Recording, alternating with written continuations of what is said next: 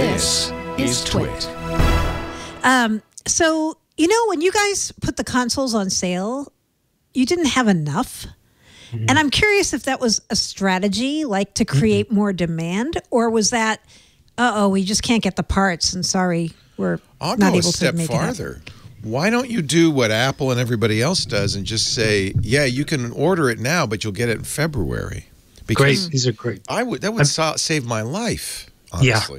I'm so glad. I'm so glad we get a chance to talk about this. Yeah. The, it was definitely not a strategy of scarcity, and I know sometimes companies will will do that. Uh, but I think what you're seeing is both Sony and Microsoft. You know, we're going to sell every console we can possibly make and get on shelves. I think with a business that has you know a new generation every what is it, Paul, five, six, seven years. You know, the Yeah, it's been ability longer, for yeah.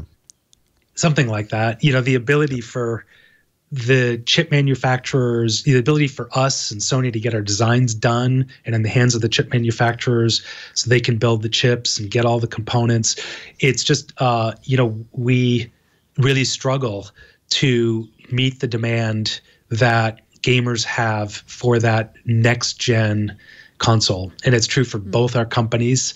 Uh, it, i don't think either company would say we want to have scarcity. You know we want we want people this holiday playing on a new console if they want a new console. So it's a it's a hard somewhat frustrating situation. Uh, we're building as many as we can as fast as we can uh, getting them out to to retailers et cetera et cetera. Oh you guys hear me Yeah. Yeah. Yeah, we hear okay you fine. great Yeah. for some reason i thought i lost you um it We isn't just were it isn't quiet you know, listening to your answer. yeah yeah it isn't what we want you know i don't it's it's i want you to be able to get as many as as as you would like so uh we'll continue to you know bring drops as frequently as we can but i think for both sony and microsoft it's going to be another bit you know it's not i don't think it'll be like oh january the channel will be full and everyone can get exactly the one they want um, but both companies i think are working furiously to build everything we can and then you know leo you asked a great question why can't we just say hey order it now you know put a down payment on it or whatever and then we'll ship it in february and the reality is if we had great confidence Right. uh, that we could tell you the date, then we would. You know, if Best Buy says, "Hey, we feel confident that you're going to be able to deliver me X, you know, hundred thousand of these, so I can actually put the date down," then we all would do that. And uh, I just don't think uh, we have that level of confidence in when the date would be for which country, for which retailer. And it's a great thing for us to aspire to do much better. And there are some companies, you know, if you look at an Amazon or you look at an Apple, you know, their their supply chain is they're just world class. Um, and so we we aspire to do the things you're you're saying, so we can give you much more confidence. But we don't want to have a terrible experience. The last thing I want is to tell you you're going to get something in February, and then to say, oh no, it actually won't be till April. And so that's why you don't see any retailers uh, doing that. Makes And perfect sense, actually. We just have to get better at it. Yeah. Yeah, Apple. I mean, Apple makes the same thing every year, and they've got a real tight control in the supply chain. It's a very different situation. And the scale, as And you know, scale. Yeah, is right. The, the volume is so different. Yeah. Yeah. yeah. It's so stunning. Yeah. Thank but you it's for frustrating, answering you know. It is we don't sit frustrating, but Yeah, we don't sit at Microsoft and say, "Oh, isn't this great? We've sold We everything we made." crazy. We sold we out. say, "Oh God, this is so painful." we sold out. We went. Well, I always, No, I, I always- I, I wondered if, like, the day, you know, like the week of Christmas, you'd be like, guess what? We just found a 100,000 consoles. Here they are, you know?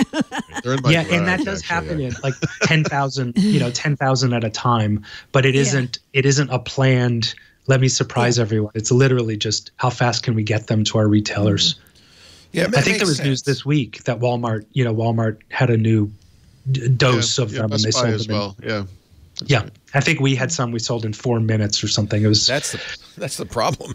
I, go, I go to Walmart at noon, and they're gone. They're Yeah. gone. yeah. You know, on launch day or on pre-order day, we planned for four times our holiday volume for our website. Mm-hmm.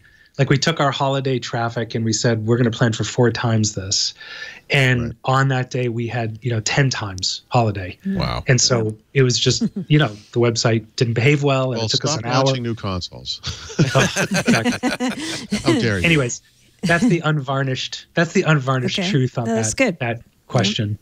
But uh, gaming for me is just I, I don't know how you start this show without me looking at the year without saying I think gaming was transformative and it it only is possible because the gaming team is leveraging so much of the rest of X of Microsoft. You know, they're we're literally putting Xbox consoles in our Azure data centers so that a developer can build a game and as soon as it's approved to play on Xbox if they want, we can stream it and they don't have to do anything to the code.